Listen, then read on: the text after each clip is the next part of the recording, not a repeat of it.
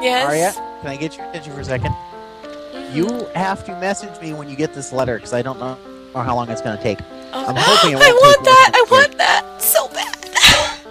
But the letter will have an orange in there, so if you don't have any orange trees, you can plant the orange tree. if you take care of it, then you'll then you can start spreading some oranges around your. Yay! But Arcane is helping the chair.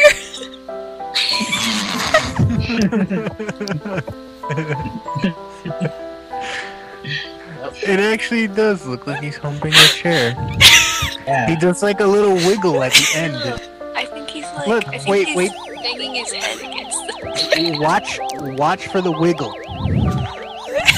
There's like a, there's like a weird kind of hip move that he does. Everybody's humping a chair. Oh yeah. It's a chair orgy. It's a oh, chair orgy. This is an awful game. This This is the most awful, fun I've had all game. night. It promotes sex with inanimate objects. This is a terrible It's a game. cheer dance. And this, children, is why it's an 18 plus channel. You should not buy this game for children. Just